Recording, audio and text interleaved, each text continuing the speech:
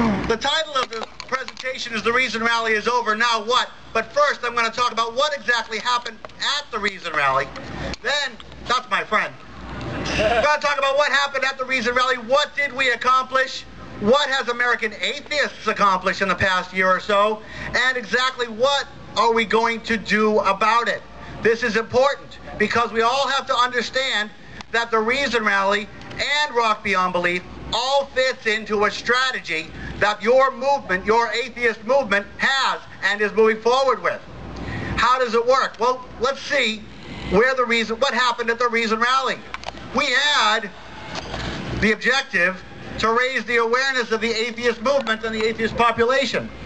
Now, there's a misprint on this slide because it says the largest movement in the largest atheist gathering in history by a factor of 10. Folks, our revised numbers are that 30,000 atheists showed up last week.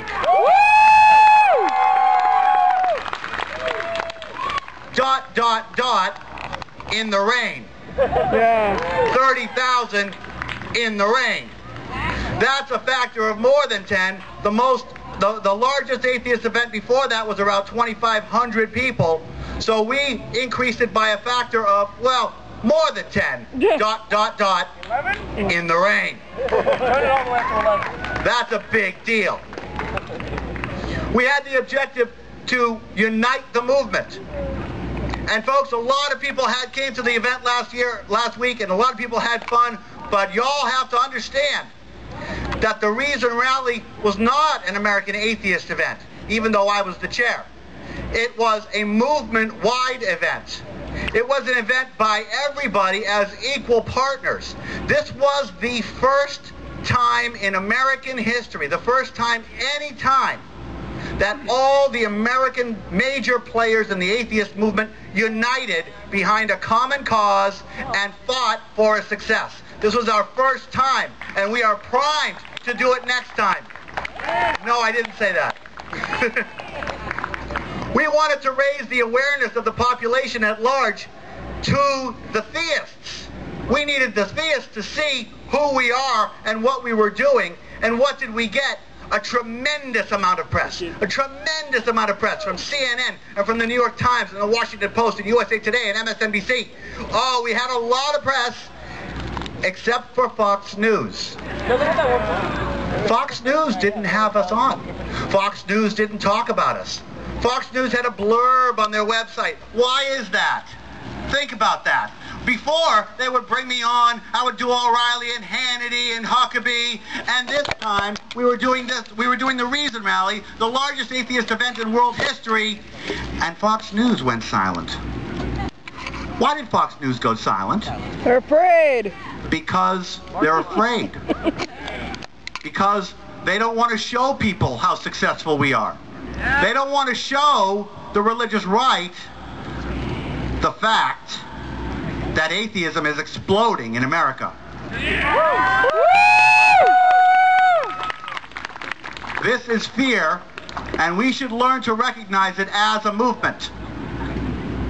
What else did the Reason Rally accomplish?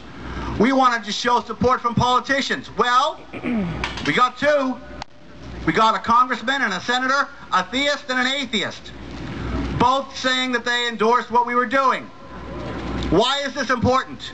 Number one, because we have to make sure that every politician knows that Pete Stark is an outed atheist and continuously gets reelected.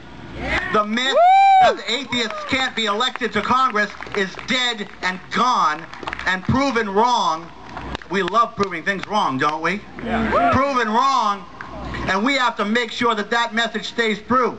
Tom Harkin, a senior senator from Iowa, also supported us with a video. He's a theist. And that's important. Because just as Pete Stark can represent theists and be an atheist, so can the theists represent atheists with pride, with enthusiasm, and with respect. And we have to thank Senator Harkin for sticking his neck out on the line so that we to deliver that message. We wanted to take back values. Let's face some facts. The values come from us.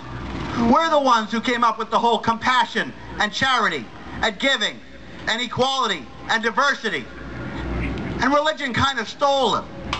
Well, not so much the diversity and equality. Religion kind of left that out of it. But compassion and charity are ours.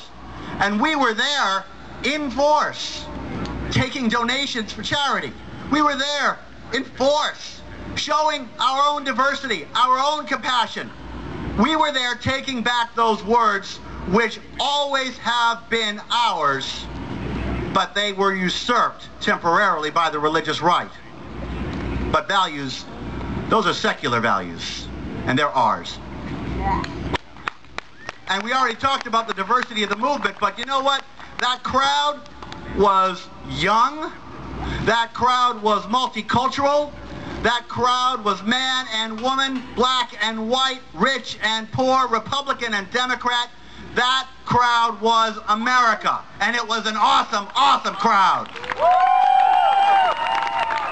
And speaking about that, I wanted to make sure that we all had an awesome time. Did you all have an awesome time?